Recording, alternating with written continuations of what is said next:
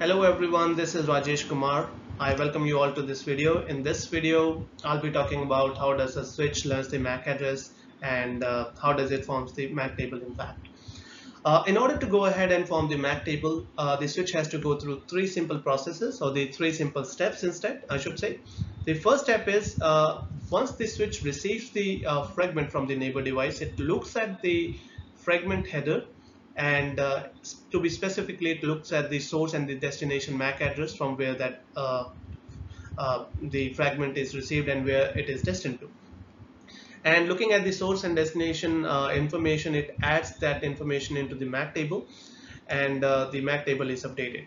However in some cases it is possible that the destination MAC address is not given into the uh, frame or the fragment header uh, that we'll discuss in a moment. Uh, in that case, the switch will send the ARP request for the destination MAC address, and once it reply, uh, once it is uh, replied with the destination MAC address from the uh, machine, it adds that entry also to the MAC table. So uh, let's go ahead and discuss this scenario with a little more information or the little more details.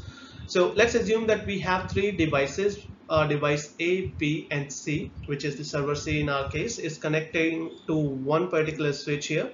The device A whose IP address is 10.1.1.1 and the MAC address is AAA is connected on port number 1 of the switch. The same way the uh, device B is connected on port number 2 and uh, the server C is connected on port number 3. Uh, as of now uh, you can say that device or the switch does not know about any of the MAC address of these devices. The devices are connected to the switch, however, the switch does not know about the MAC address, like which MAC address is connected on which port. And now, device A has some data uh, that it would like to send to device B. So in that case, the device A uh, will share or that fragment uh, to the switch in this case guys uh, since both source and destination IP addresses are from the same subnet so that is why the switch will not or the device A will not add any uh, gateway information to the packet uh, or the to the fragment. So it will directly send this information to the uh, switch.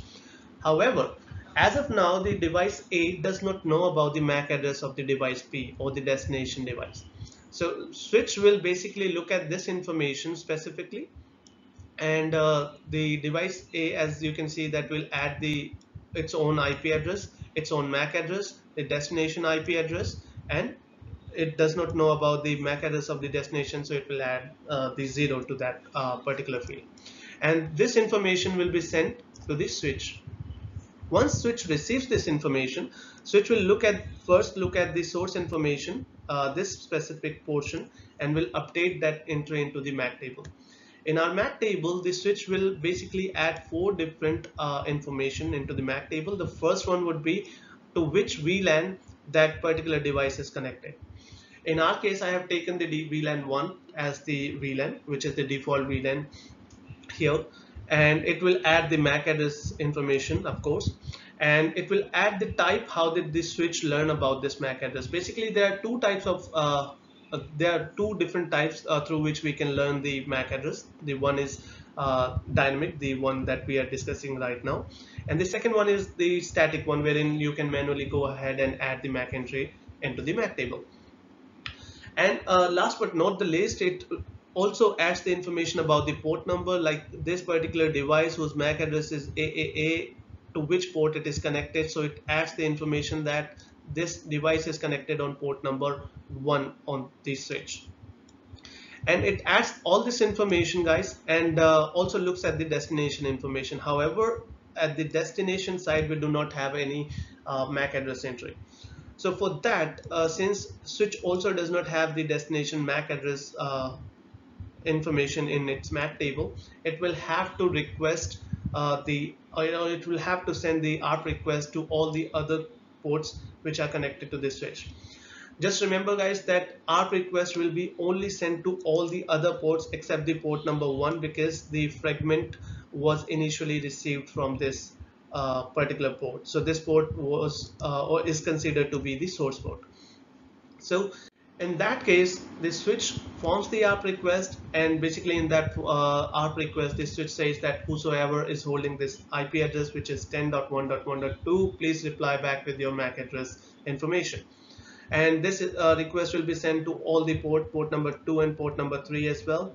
To as many port uh, you may have like 10 20 whatever the number of ports that you have in your in your scenario that request will be sent to all the ports. The all devices which are receiving this request will check that IP address against their own IP address. However, in our case, this IP address matches with this device's IP address. So it will reply back stating that, hey, uh, I am holding this IP address and my MAC address is this. This information will be sent back to the switch and the switch uh, will update that information finally to its MAC table. So now we can see that there are two MAC addresses entries into the MAC table and they both are learned dynamically and the port number is also given. So this information is kept on the switch uh, about the uh, both uh, devices like uh, where that devices is connected and what are their MAC addresses. And this information is also used for the further communication if in case after some time the device B like to send some data to device A. So it will not have to uh, like go ahead and repeat the process. It will hold this entry uh, and will process the entry uh, or process that data based on this entry. However, guys, uh, let's assume uh, this there's one more good thing that you should know uh, that we have added this entry into the MAC table. However, as of now, I'm using port device number A on port number one here. But after some time, I remove this device from the network. I add another computer to this port and certainly as you know that since I'm adding a new device the MAC address for device uh, for that particular device would be the different one.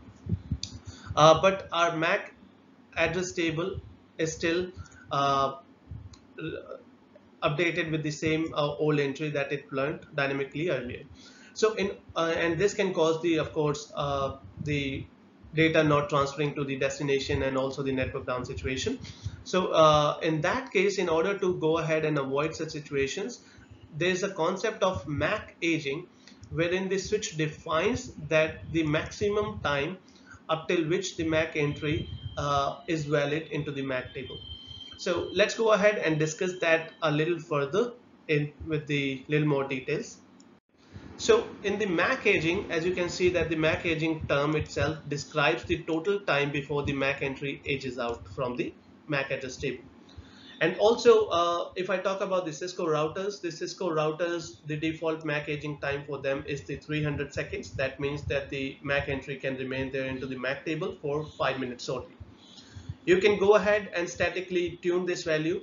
The uh, values can be configured between 0 to 10 million. As you can see that the, if you configure 0, that means that the MAC entry will not be added to the uh, MAC address table. And uh, this is like you are disabling the MAC uh, entry to the table or you, you, do not want the MAC entry to be updated to the table if you configure the value as zero. And also as you can see that you can configure the amount of time uh, that an entry remains into the MAC table. So this is basically the MAC aging concept which is very important for the networking. If you do not have this, so probably uh, this can create a major issues into the network. Let's go ahead uh, uh and discuss a little more about this. So after the MAC aging guys, I would like to talk about frame switching. Basically, there are three types of frame switching you can see. The first is uh, you can see store and forward. The second one is cut through switching method and the third one is frame free fragment.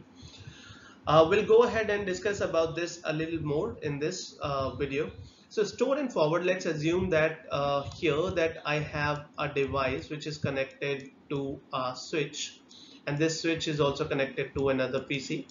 Once this device sends the information to switch, the switch will keep that information with it. It will not forward it to the destination. It will check that uh, received fragment against the CRC or the cyclic redundancy check basically the cyclic redundancy check uh, in my other video as I described that this is for uh, the error detection. Uh, this detects whether the data has been uh, tuned on the path or if there is any data loss or if the data is intact or not. Once the switch assures that yes the data is intact and it can be sent to the destination then only it will forward that frame to the destination. So this is like store and forward. It stores that packet and forwards the uh, packet after detecting or after checking it against the CRC mechanism that we have. So this is the uh, basic or you can say that overview information about the store and forward switch uh, frame switching type. The second is cut through. The in cut through method guys uh, the switch only keeps the destination MAC information and that too from the uh, fragment header it only keeps the 6 bytes from the frame.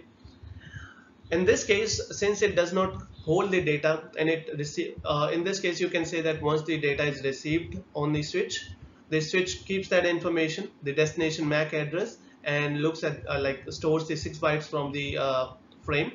And then as soon as it does that it is done with that process it sends the uh, fragment to the destination without even waiting for the uh, complete packet or without even waiting for the complete data to receive on it. Uh, because of that behavior, the this behavior makes the switch or, or makes this particular method a little faster as compared to the store and forward method, as you can see. And also that, uh, as we as I said, that the it sends the frame as soon as as it processes the destination MAC address without the CRC check. So once the complete data or the complete frame is received, that frame is checked against the CRC to make sure that there's no error or there's no uh, problem with that. However, it does not wait for the complete frame or from for the complete data to receive. It just simply receives it and sends it to the destination just by processing the destination MAC address. And uh, as you can see that this does not wait for the entire data to receive. Instead, it sends it as soon as it receives it. So this is the cut through process, uh, the cut through switching in nutshell you can say.